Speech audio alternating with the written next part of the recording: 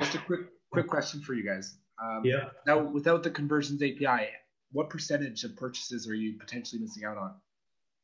Ooh, that's a good question. It could be a lot.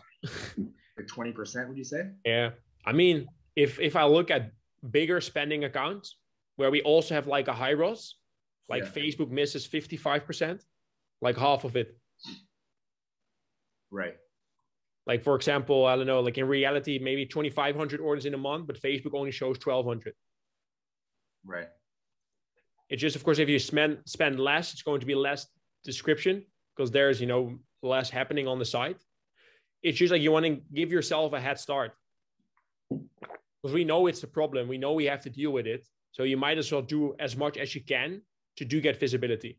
Same as with like UTM's yes, you know, having to go to analytics, will it be accurate? No, but it is again an extra avenue for you to watch. One for you. One of our client accounts yesterday that's got Hyros. Three leads have come through the Facebook Ads Manager. And in Hyros, we can see 17. So, you know, that's it's quite a quite, quite a lot of uh, leads that aren't coming through. With that said, with this client, we know that Hyros is all set up correctly. So we're not as strict on making sure that the tracking is set up through Facebook uh, anymore because we sort of rely heavily on Hyros anyway. But you know, yeah, it is a big, a big amount of data or large amount of data that you are losing out on um, without it, any additional trackers. Makes it hard to kind of track the efficiency of your campaigns if there's such a big discrep- discrepancy, right? Yeah, hundred percent.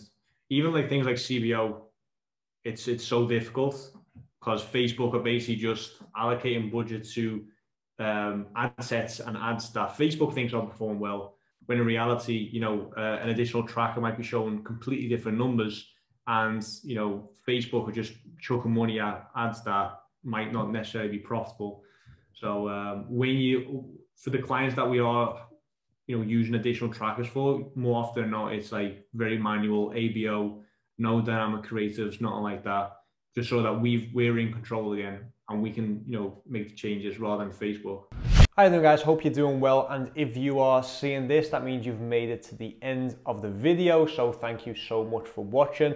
And that was basically a snippet of a one-time event where we basically went in analyze your ad accounts and uh, answered any questions that you had completely free of charge, no strings attached.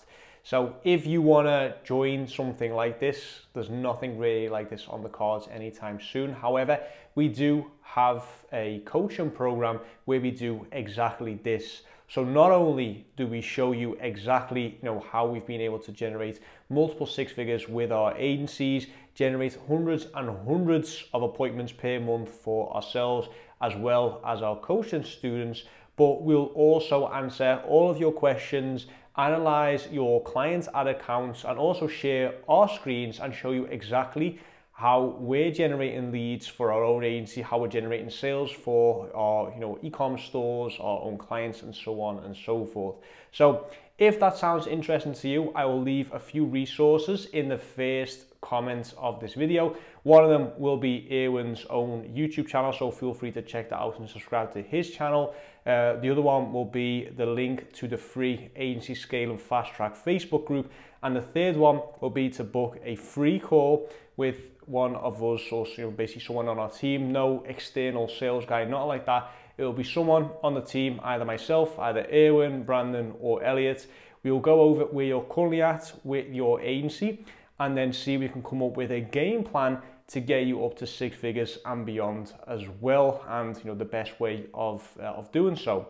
So if that sounds interesting to you it'll all be linked in the first comment down below. But for now i'll wrap up this video here. Thank you so much for watching. Like share comment subscribe and i'll see you all in the next video